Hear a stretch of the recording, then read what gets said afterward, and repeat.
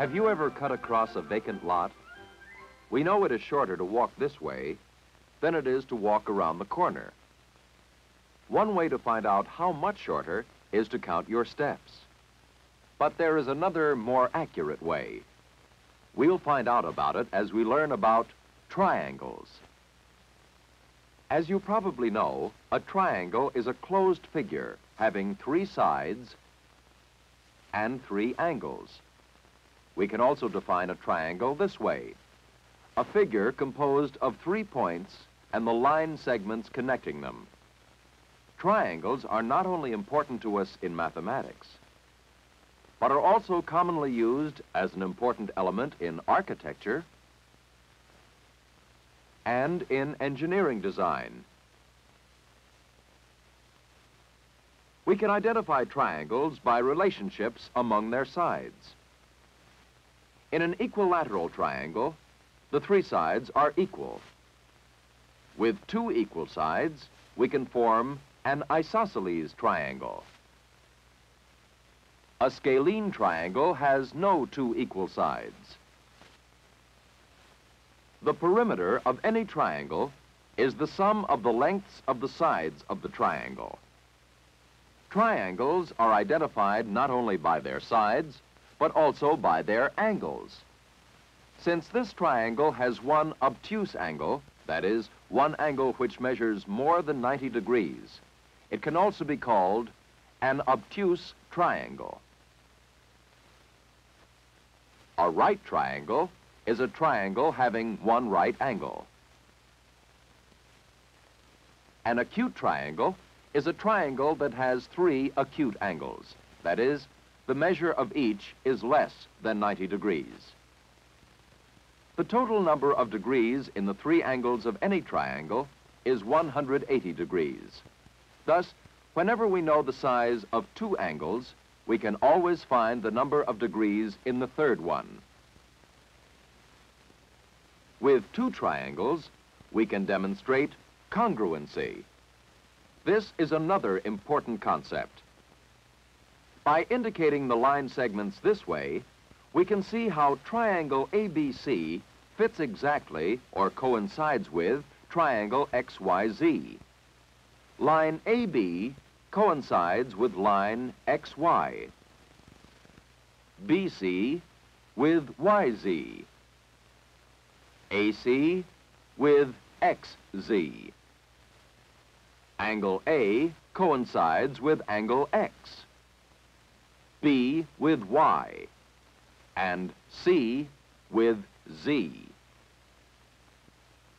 We see that if two triangles are congruent, all six parts of one triangle, three angles and three sides, are equal respectively to the six parts of the other. The triangles are also equal in area. Congruency will help us demonstrate how we derive this formula for the area of a triangle. Area equals one half the base, B, times the height, H. First, on the base of the triangle, we construct a rectangle. The rectangle and the triangle both have the same base, B, and height, H. We see that triangle AFC is congruent to ADC we know that these two congruent triangles are equal in area. In like manner, triangle CBE is congruent to CDB. We know that these two congruent triangles are equal in area. Thus, triangle AFC and triangle CBE together are equal in area to the area of our original triangle, ACB. We know that the area of a rectangle equals the base times the height. So one half the base times the height must equal the area of a triangle. If the original triangle has a base of 10 inches and a height of 5 inches, the triangle has an area of 25 square inches.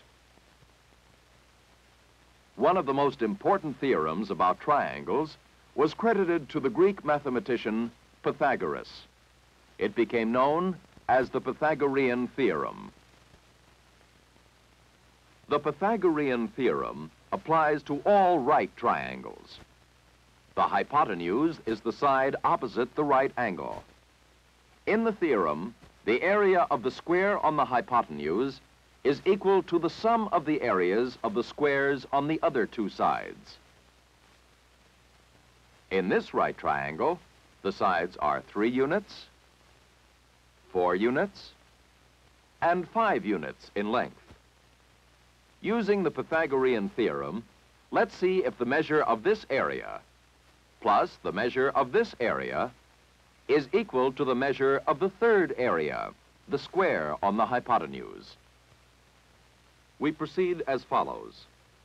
3 squared is 9. 4 squared is 16.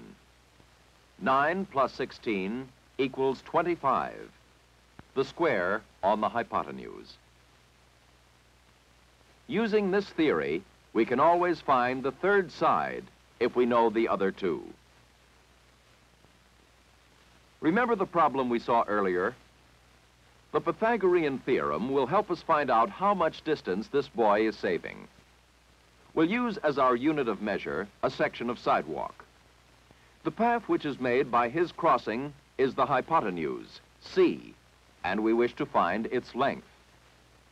Sides A, B, and C form a right triangle. The length of side A is 20 sections of sidewalk, and the length of side B is 15 sections of sidewalk. Using the Pythagorean theorem, we can find the length of the unknown side, C, since we know the lengths of the other two sides. Our formula for calculating any one of these distances, when the other two are known, is a squared plus b squared equals c squared. Side A measures 20 units. 20 squared is 400. Side B measures 15 units. 15 squared is 225. The sum of these two squares is 625. When we take the square root of 625, we find it is 25. 25 sections of sidewalk is the length of side C. The other two sides, 20 and 15, total 35. Subtracting 25 from 35 gives us 10. The boy has saved himself 10 sections of sidewalk. In this problem, we have a ladder 24 feet long. The distance from the bottom of the ladder to the wall is 6 feet. What then is the distance from the ground to the point where the ladder is resting against the wall? In this case, we want to find the length of side B. Using the formula A squared plus B squared equals C squared, we can make the following calculations. Side C, representing the ladder, is 24 feet long. 24 squared is 576. Side A, the distance from the bottom of the ladder to the wall, is 6 feet. 6 squared is 36. Subtracting 36 from 576 gives us 540. This is the square of side B. To find the length of the side, we take the square root of 540, which is 23 and 2 tenths. Side B, the distance from the ground to the point where the ladder is resting against the wall, is 23 and 2 tenths feet. How to find the length of an unknown side of a right triangle is just one of the important things we have learned about triangles. We have also seen that triangles can be identified according to the measures of their sides or their angles. We learn to find the area of a triangle by using the formula area equals one half the base times the height. As you continue with your study of mathematics, you'll find that the solutions to many kinds of problems depend on your knowledge of triangles.